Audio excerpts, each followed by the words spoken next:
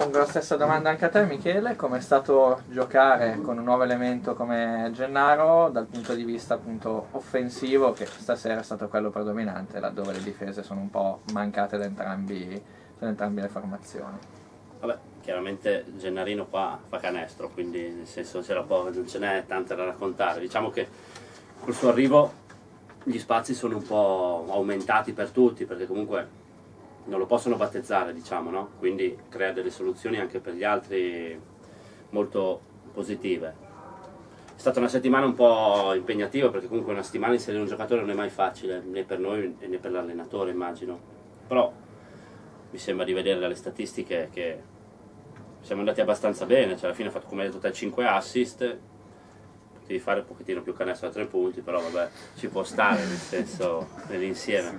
Però va bene, nel senso per adesso è stata una settimana positiva, speriamo che siano così tutte le domeniche. Come dicevi tu, ne ha giocato già la squadra con il duo formato da te Mossi, 18 su 28 dal campo, con gli spazi creati appunto da, da certo, questa giunta certo. è già evidente sì, e sì. anche Grognetti vicino a una doppia doppia proprio perché ha aiutato e supportato certo. nella regia. Esatto e diventa penso anche per voi molto più divertente in campo. Beh certo, fin quando fai canestro è sempre divertente, cioè, c'è poco da, da, dire.